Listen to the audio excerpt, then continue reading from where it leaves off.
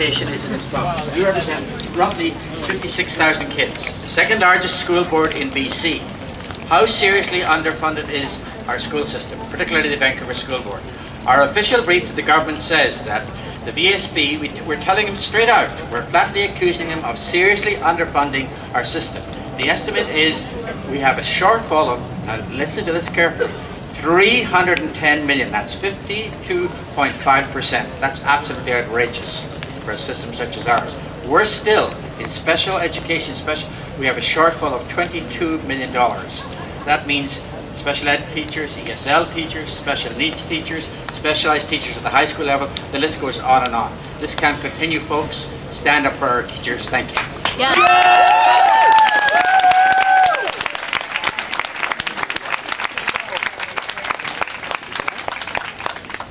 Our next speakers are students at University Hill Secondary. Oh Lane Young and Alicia Smith they're both in grade 12.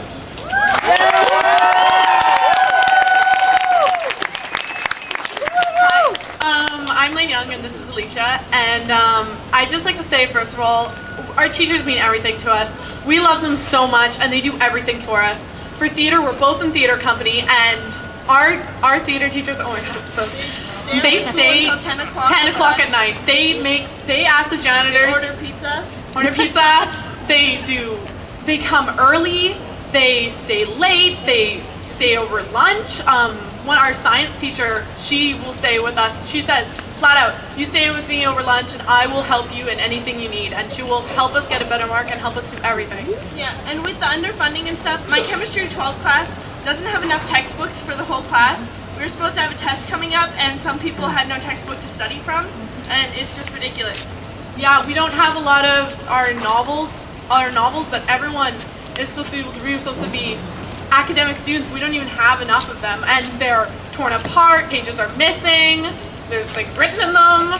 I mean, we we can't even get new ones, and our teachers are like, well, and sometimes they'll even dip in their own pockets and get us things that we need. And a lot of the times, teachers will say things like, "We don't have pencils. We we need you to bring them, guys. We don't." We can't do that for you. I'm sorry, but they'll bring their own out, out of their pencil case, and they'll give it to us, and they'll be like, "Yeah, don't worry about it. I whatever." so, yeah, um, pretty much. We're our teachers.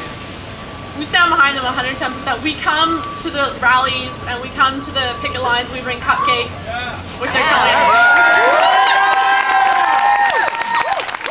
And a bunch of us are doing it. So to say that to say that students are suffering, yeah, we're suffering. We're suffering in our classes, and we're suffering now because our our teachers are doing. we're suffering. We're suffering because of the class sizes and the undercut funding. Yeah.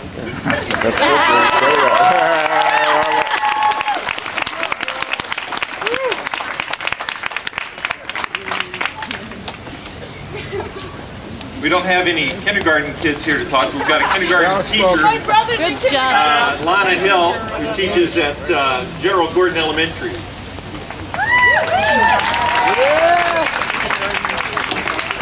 Hello. Um, first of all, I want, first of all, I'm here as a, a grad of the education program at UBC, which is excellent. Um, in 2002, when the government uh, stripped our contracts, we were like the walking wounded, those of us who are still walking. And we put our heads together, those of us who have taught in other parts of the world, and came to a very quick realization that the teacher training in Canada is second to none. We felt that we were really well trained. We've been out in the world, we've seen other school systems. There isn't a better system that we had shared anywhere else in the world. Canada, Vancouver, British Columbia has an excellent education system. What is it that they're trying to fix? But more importantly, what I wanted to share with you is a message. We had dialogue with our students at school on the Thursday before we walked on Friday. And one of our grade six teachers uh, said he was talking to his class about, well, what does uh, essential services actually mean? They were having that dialogue. And one of the students said, well, if the government's saying that education's an essential service, why do they keep cutting the funding?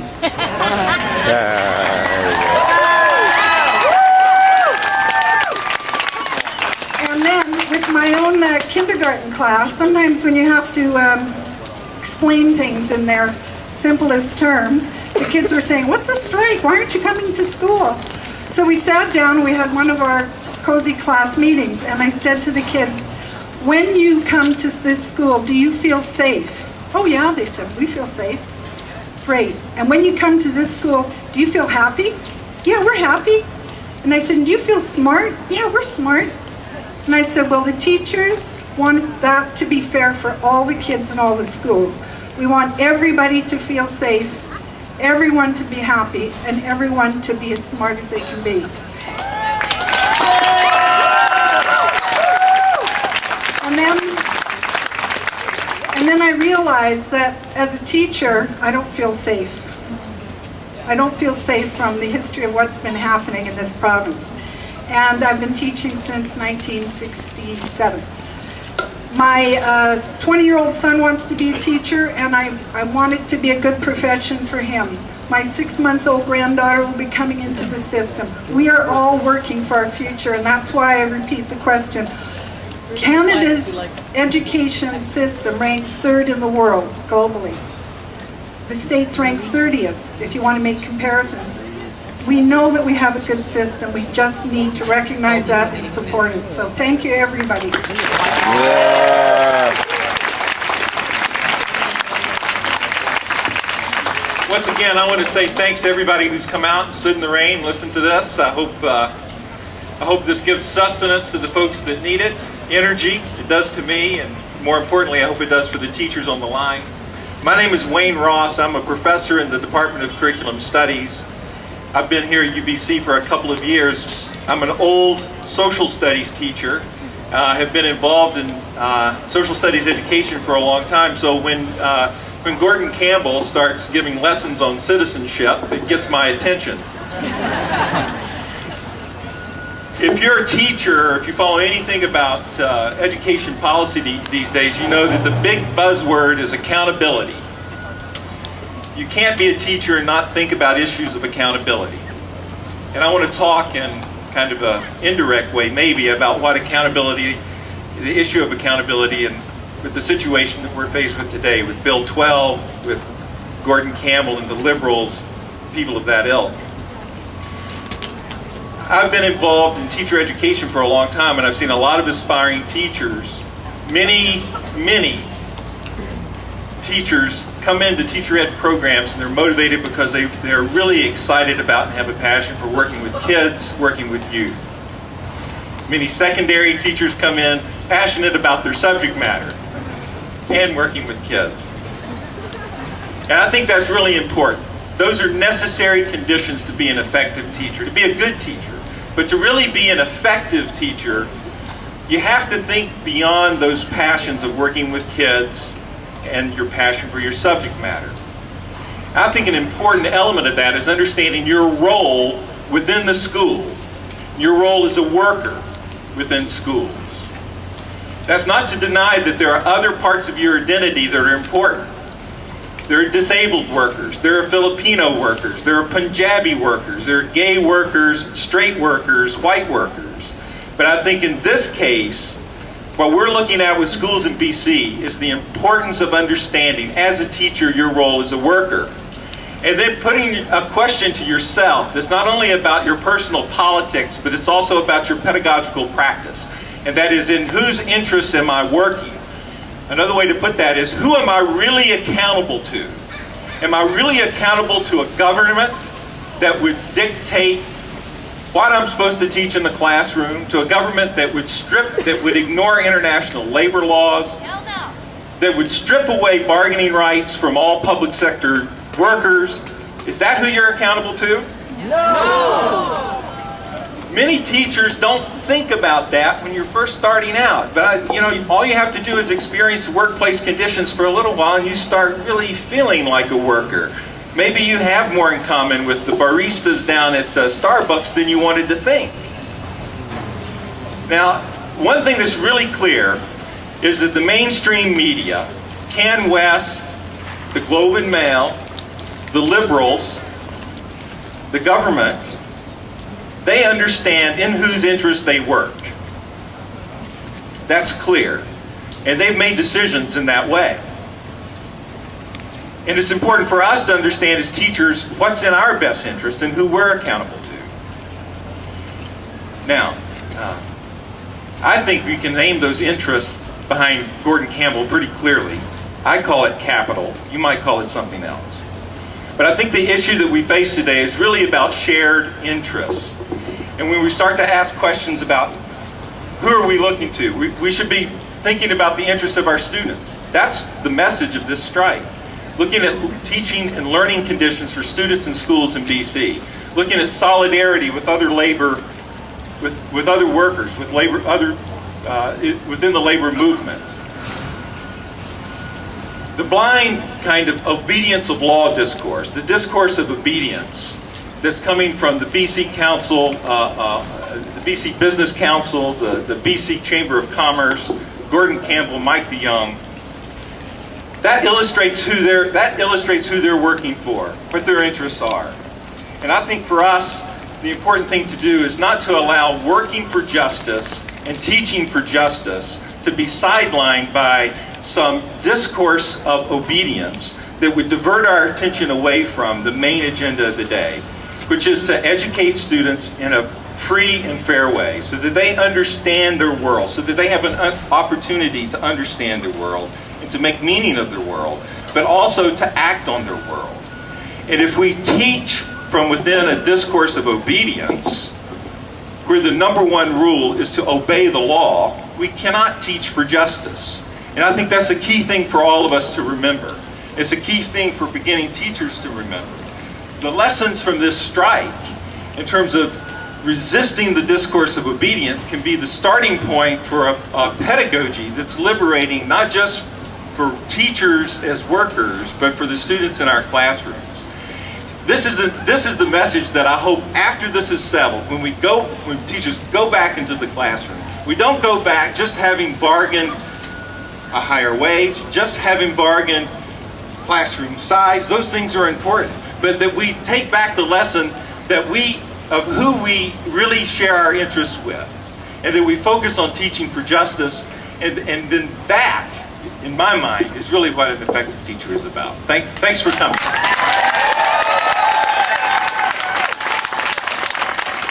I want to thank, I want to thank, uh, as I introduce Steve Petrina, who's a professor in the Department of Curriculum Studies, for getting our speaker system together for us today. Steve and a number of his students. We won't ask where all the equipment came from. and Steve's got a few things to say for to us in closing. Hi, everyone for the record, I didn't do anything. I just showed up, said a few words, and then left. When I took my first teaching job in 1984, we went out on strike. I didn't know it was going to happen. We, we went out on strike. And guess whose, guess whose picture was on the front page of the local newspaper? Holding up a big old sign, said, governments roll the dice, students and teachers pay the price. And um, ever since that, that front page episode, I've been ticked off. And I'm still ticked off about that. But I'm here to say that I support teachers. I support union activism. I support labor. I support solidarity. I support collective action. It's the only message we can send to this government. It's symbolic, it's real, it's powerful, okay?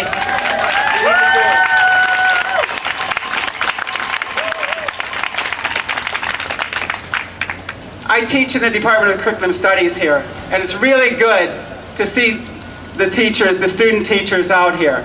It's fantastic to see them out here in the rain. It's great to see our CUPE members out here. It's great to see our BCTF members, and it's great to see everyone out here in the rain at lunchtime to support the BCTF and teachers throughout the province. Thank you for coming, okay? Definitely.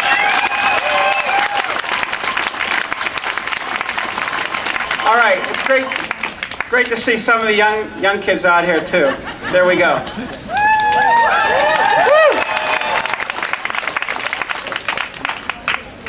I get a few messages. One message is to our student teachers who are out here. I think it's crucial, it's really crucial that you adopt a strong pro-union position at this point in history, okay? Your future depends on it. Our future depends on it. Since 2001, this liberal government cut 2,600 teachers from the system. This means when you, that when you leave UBC, your chances of finding a full-time teaching job is getting slimmer and slimmer. Okay? But there are other reasons why, you need, why our new teachers need to support our unions. You're in positions to teach the youth of Canada and influence their beliefs in the power of unions and the power of labor activism. Unions have to appeal to youth for their future future of youth is the future of unions, okay? And remember, when the Canadian Labour Congress convened here in Vancouver in 1996, they adopted a primary resolution calling for youth to become a central outreach and organizing activity for all union affiliates. We know the situation of youth in Canada. High unemployment, over 25% for the young people in Canada. Most of them have no chance of becoming a union member. Okay? And you know the wages, and you know what goes along with casual labor and part-time labor, and you know the difficulties that go along with unemployment. So all the new teachers here, you have a real chance to make a difference in these young people's lives by talking to them about these things, by teaching things like peace, by teaching things like activism, okay? Union density and union, well, union density in Canada has been declining. We know that. That's not a good thing. And you know union density is basically the percentage of employed people who are in a union, who have the right to be in a union and who the, uh, have the privilege to be in a union. It's below 30% right now, okay? It's dipped, it's dipped to an all-time low. There's union busting activity going on across Canada, across North America, and in many ways on a global scale. So it's really, really important that you take a stand at this point in history okay?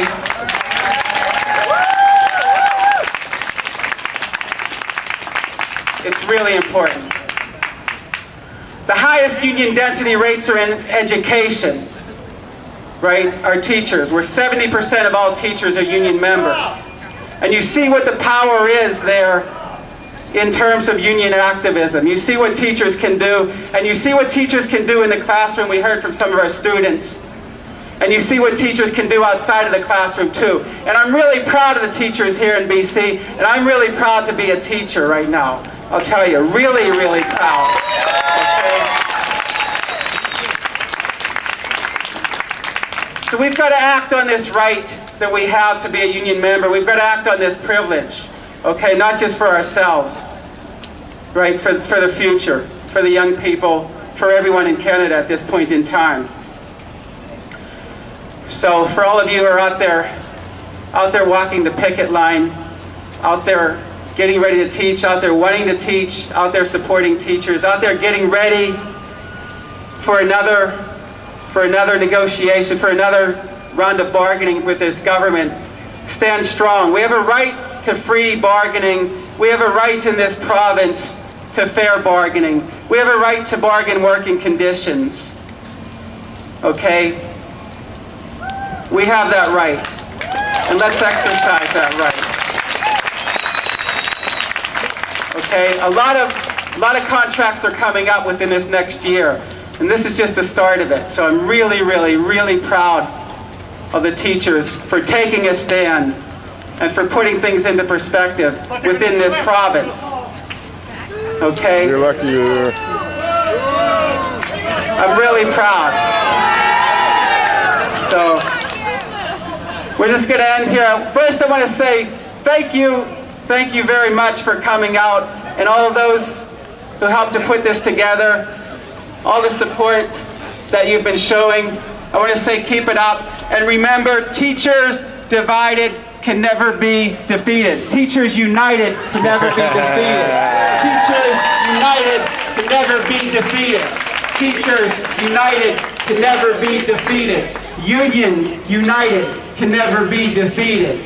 Unions united can never be defeated. Teachers united can never be defeated. Unions united can never be defeated. Teachers united can never be defeated. Unions united can never be defeated. Teachers united can never be defeated. Unions united can never be defeated. Remember that.